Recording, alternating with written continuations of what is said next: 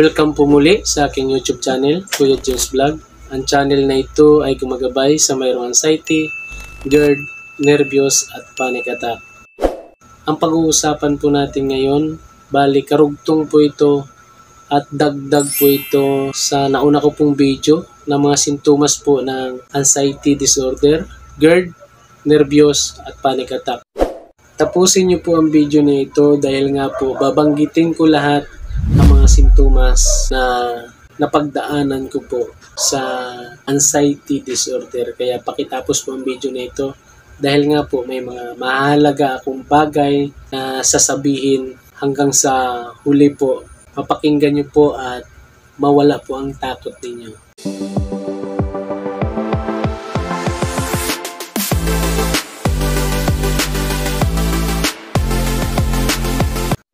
Bali yung mga nauna pong sintomas, ito po ay yung sobrang takot. Sobrang takot po kayo sa lahat. May kaunting nararamdaman, natatakot na po kayo, akala mo may malala na po kayong sakit. Ah, kasi lahat naman po ito kasi na babanggitin ko, ito po ay common talaga sa mayroong ah, sa taong mayroong anxiety. Anxiety disorder pag mayroon ito. Kaya ang lahat ng babanggitin ko po ay common talaga. Base po sa aking experience, ito po ay narar- naramdaman ko po lahat. Pangalawa po natin, hirap po kayo huminga. Nahihirapan po kayo huminga dahil nga po pag sobrang nag-iisip po kasi kayo, nagpo-produce po si, si nervyos ng acid, doon po nahihirapan po kayo huminga. At saka yung pangatlo po natin, masakit po ang dibdib at likod. Ah, sa sakit ng dibdib at likod, nandun po yun pag huminga po kayo ng malalim, o di kaya mag-ubo po kayo ng malalim. Pag, pag naganyan lang po kayo, masakit po yan sa likod, pati dibdib. Tapos pag nag-ubo rin kayo, yun po maramdaman mo yung sakit na akala mo mayroon ka talagang ah, sakit sa baga. Kaya pag nararamdaman mo yan, sakit sa likod at saka sa, sakit sa dibdib, doon na po yung papasok sa isip mo na magpa-ECG ka uli, magpa-chest x-ray yan. Laging nasa isip mo. Pangapat po natin yung ano, masakit ang ulo. Masakit po yung ulo nyo, nagsisimula po rito sa may sentido hanggang ano po yan, hanggang bato. Masakit, mabigat na parang parang nangangalayan po ang nararamdaman. Yun po ay kasi pag sobrang nag-iisip po kayo kaya sumasakit ang ulo nyo. Minsan kulang sa tulog kaya sumasakit po ang ulo nyo. Panglima po yung sobrang hilo na akala mo matutumba ka, masusubsob ka. Kasi feeling mo kahit nakaupo po kayo niyan, para kayong dinuduyan-duyan, parang ginaganyan-ganyan kayo yan. Yun po ang feeling nyo. Pero ramdam na ramdam mo po talaga na para kayong dinuduyan. Kaya yan po, ah, sobrang hilo. Yun po yung panglima natin. Yung panganim naman po yung nangangawit po yung panga nyo, yung dito nyo. Nangangawit po yan, parang parang hirap po kayong ibuka, tapos parang umakyat dito sa batok. Ganun po yung mga nararamdaman. Nangangawit po yung panga, ah, pang-anim po yun. Ito po mas matindi yung pampito. Ah, para po kayong mababaliw. Para kayong nawawala sa sarili. Ganun po. Kasi pag sobrang takot, pag sobrang takot nyo na po, nagpapanik attack kayo, kaya ganun po yung nararamdaman nyo. Para po kayong mababaliw. At saka ito po ang madalas nararamdaman talaga, pangwalo natin. Masama po ang pakiramdam. Akala mo may lagnat, minsan umiinit ng katawan. Akala mo may lagnat ka. Pag nag-temperature ka naman, normal naman po yung temperature mo, 36 or 37, ganun lang po yan.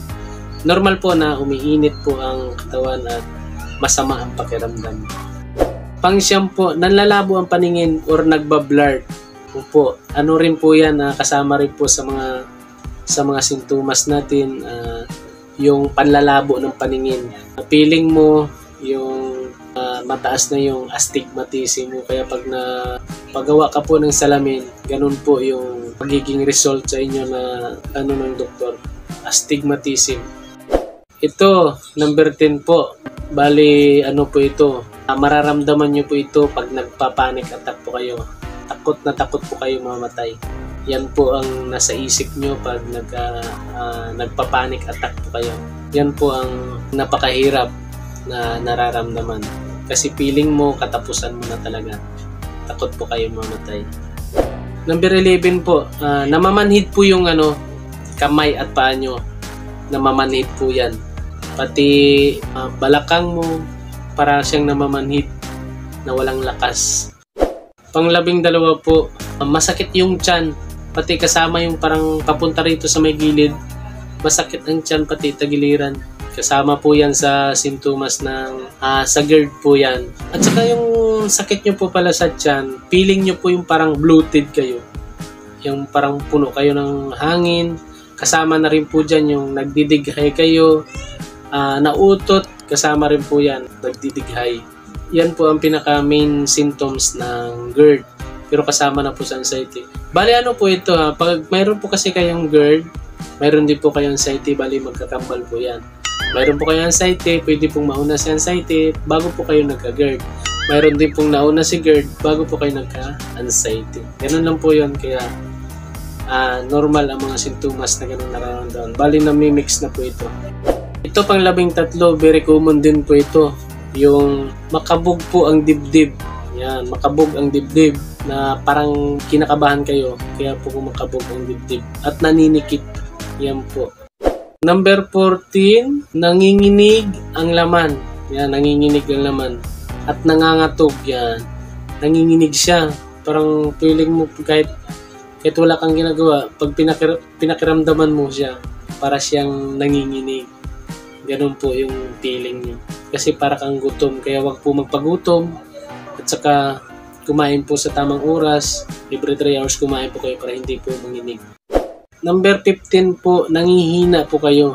Nanlalambot yung mga buto-buto nyo, mga kasukasuan nyo. Nanlalambot po yan. Yan po yung number 15 po natin. Number 16, mabilis po kayo magalit. Yung irritable kayo lagi. Yung feeling mo na kaunting dahilan lang, nagagalit na po kayo.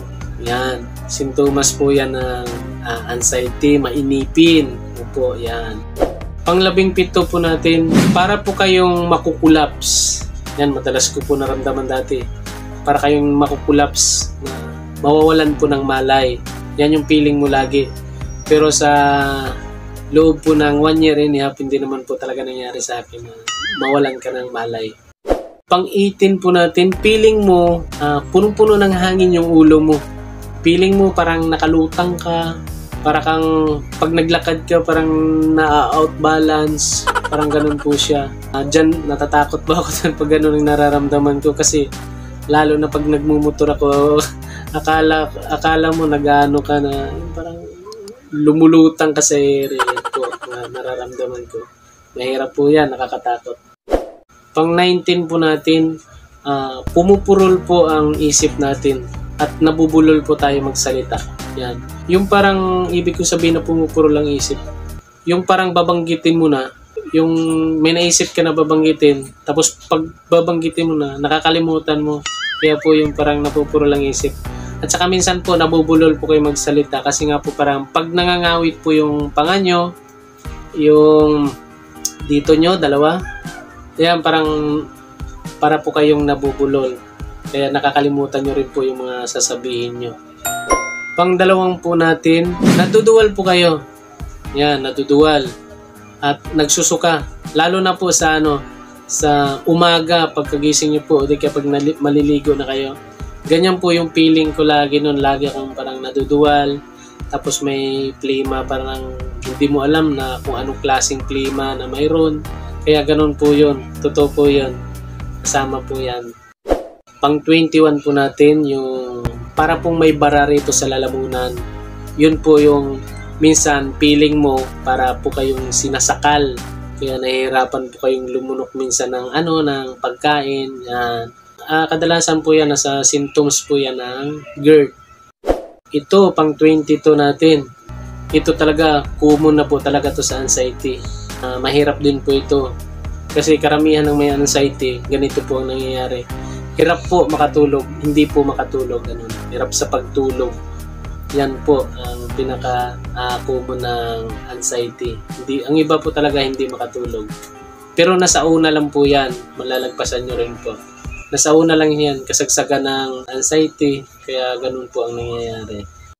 Pang 23 po, yung napipil nyo pagkagising nyo po sa umaga, parang may plima po sa lalamunan nyo na parang puti po siya, parang malapot. Ang tawag po dyan parang ano yan eh, parang likido.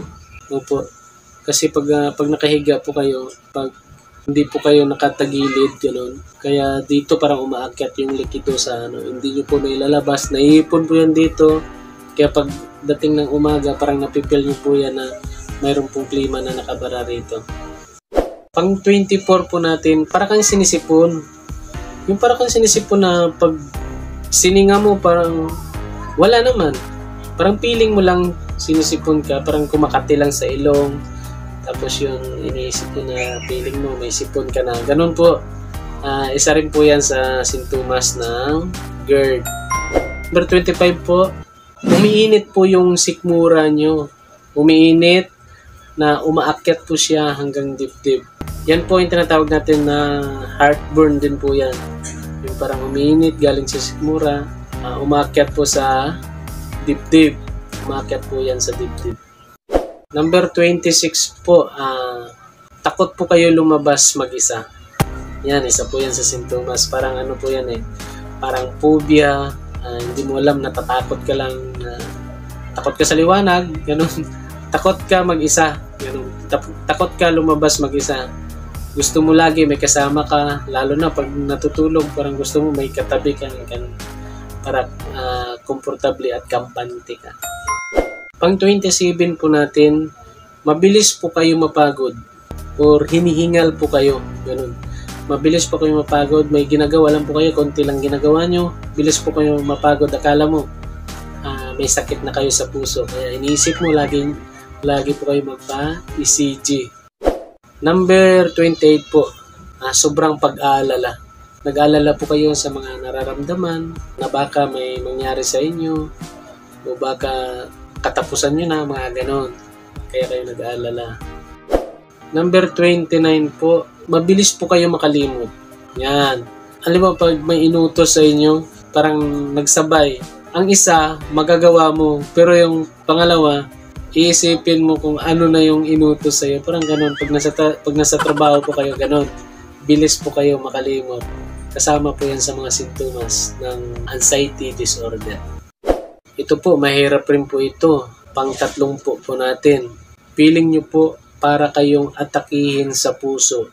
Yan. Lalo na pag inihingal kayo, may nagawa na medyo mabigat, feeling mo may sakit na po kayo sa puso. Kaya yan ang lagi mong nararamdaman na akala mo aatakihin po kayo sa puso. Yan.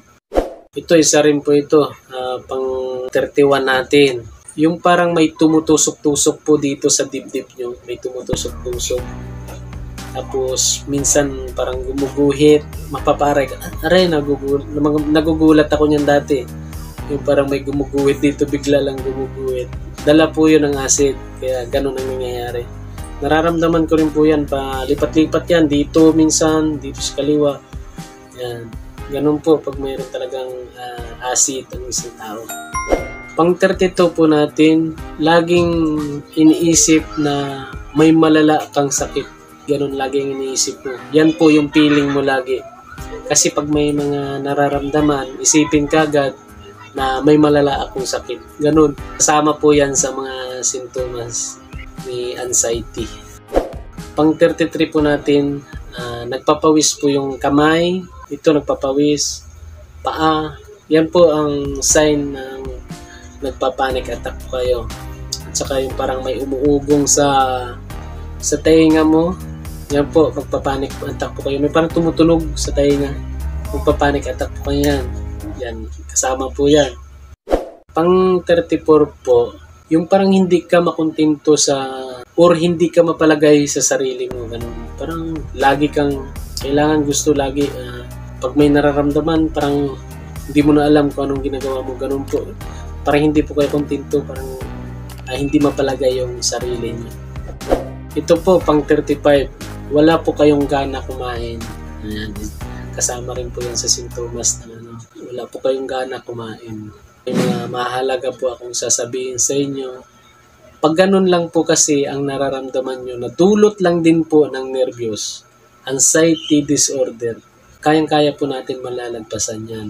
Sa lahat po kasi na nabanggit ko dito sa video na to, yan po ay base sa aking experience na napagdaanan ko at sa ngayon, nalagpasan ko, okay-okay na po ako.